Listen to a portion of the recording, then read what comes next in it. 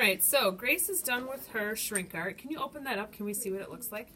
Can you pull it out of there and hold it up for us? Oh, I want them to see. All right, so here's our shrink art piece. All right, she is ready to shrink, so she's going to lay it on the aluminum foil and close it up.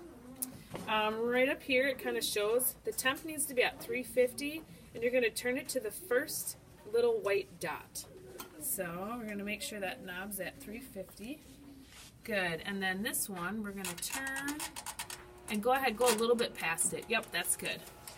We're going to go a little bit past it. So you can see the red light is on, and that red light is just showing that um, it's going to start heating up. So you'll see underneath some of the little, um, what do you call those, heaters are going to start turning red hot.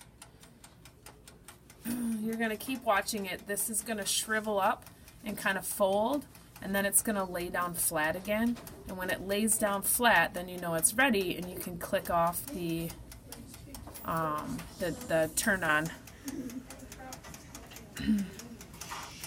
there we go. So you can see the bottom, the coils are starting to turn red hot, which is heating up to 350 degrees.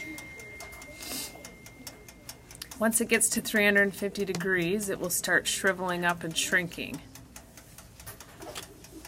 Oh, Grace, will you stand over next to me again? There, stand right there. Oh, there, now it's starting to shrink. Your black sweatshirt is allowing us to see it better. so it shrivels up first, and everybody kind of, you know, worries like, oh no, it's going to stick together, but it doesn't. It actually will lay down flat again. Alright. Good. Once it is laid down flat again, alright Grace, go ahead and click that off. She's going to click that knob off. There we go, until the thing goes off. And now, hold on, nope, turn, turn it down again. Before you do that, we want to wait about 120 seconds for it to cool. Okay, notice how she has, can I see her gloves? She's got the gloves on. Those are going to help protect her hands when she pulls out the aluminum foil. And then the wooden spoon that's there, okay, is needed, is there to flatten. Okay, so um, Grace, go ahead and um, grab that, open that up, and just kind of press on it with your with the back of the spoon. Oh, and it's sticking, good. Alright, now you can go ahead and just grab the aluminum foil and set it on the table. Good.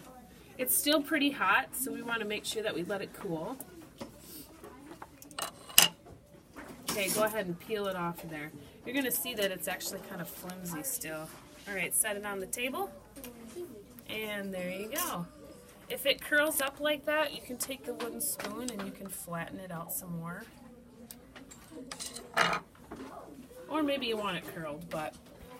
Alright, and there you go. There is her little bird.